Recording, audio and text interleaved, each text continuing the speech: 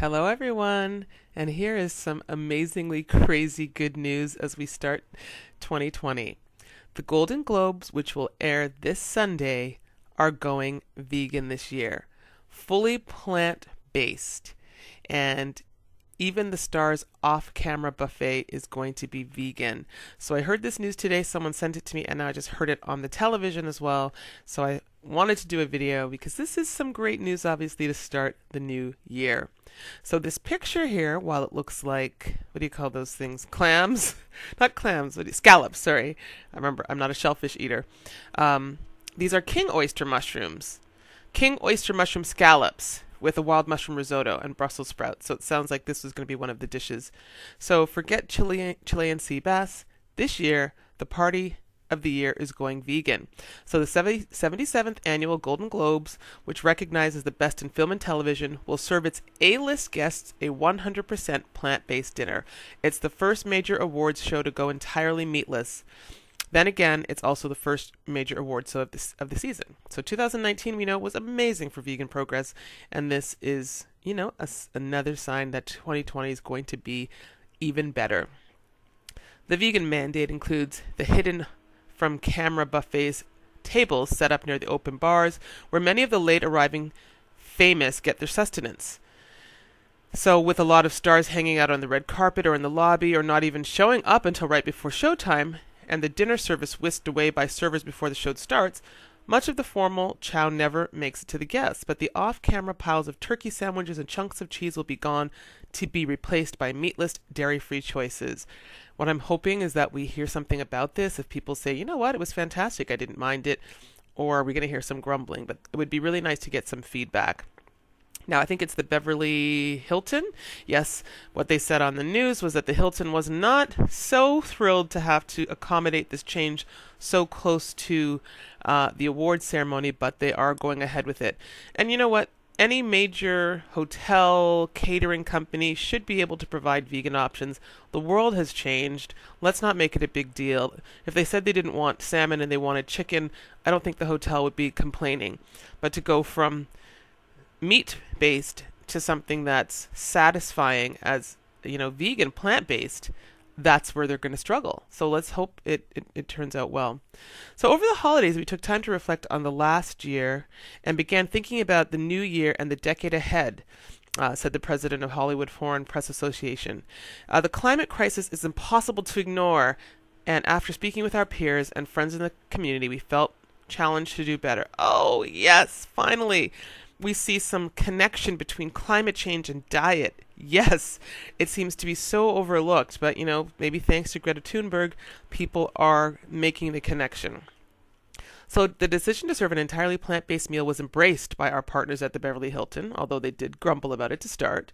So this year's menu will include a chilled golden beet soup appetizer, followed by a main course of king oyster mushroom scallops, no actual scallops involved, and wild mushroom risotto, along with carrots and roasted baby purple and green Brussels sprouts.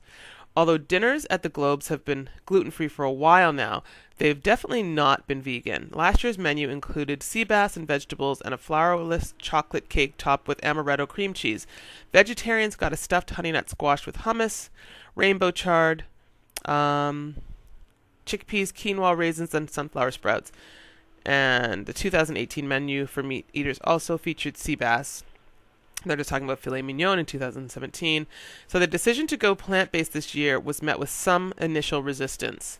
This is the oh, it's a golden beet soup because I look at that and I didn't even see it said golden. It reminds me of butternut squash soup, and people were basically saying it's too late. We we are already with all the orders, the holidays, and all that. Um, but after we began discussions, meeting for one or two days with the Beverly Hilton, they completely accepted the change. They started to experiment with how to do plant based meals. That was not just their symbolic steps, thank you, but something that guests will enjoy. And if you can't do it, bring on people who can, because it can be done, as we know. So that was that was uh, the LA Times article. Now this one is a Hollywood Reporter. So again, they're showing here the beautiful golden beet uh, soup, and it just says the awards show first ever plant-based menu is part of a larger sustainability push by the Hollywood Foreign Press Association. So please continue making that connection between the environment and diet. it you know some people don't go vegan for for the animals, but they will for their health or they will for the environment. And you know, the more people eating meatless, the better it is. So I'm just gonna skim this here. So okay, golden beach soup, locally grown. Uh, and amaranth, and a main dish of king oyster mushrooms, cooked and presented to call to mind scallops. Yeah, they definitely look like scallops. Um, so they had the menu with fish, but okay, obviously we know they changed that. So here, we don't think we'll change the world with one meal, but we decided to take small steps to bring awareness. The food we eat, the way it's processed and grown and disposed of, all of that contributes to the climate crisis. The proof, though, will be in the flavors. Morgan says he was a bit daunted creating a risotto without Parmesan cheese for Soria. He's Italian, so he was a little skeptical that we could pull it off. But Soria's take, I have to say, it's delicious. So it just says here as well, I missed this part. The climate crisis is surrounding us, and we were thinking about the new year. And okay, I read that part before.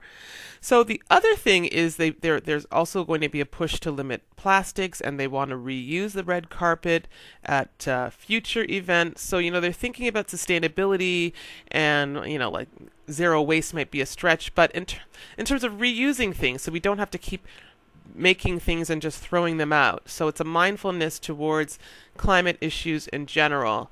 Uh, obviously, nothing here about the animals, but uh, that's okay. The entire Golden Globes is going vegan this year, and this is fantastic. Guys, let me know your thoughts. And, you know, this is my first video of the year, so I want to say Happy New Year to everyone. I have my What I Ate at Christmas video. I'm going to put up hopefully by tomorrow. And of course, lots of more great videos coming for you guys in the future. Happy New Year. Let's hope that 2020 is an even bigger and better year for veganism. All right, guys, that's all for now. Thanks so much for watching.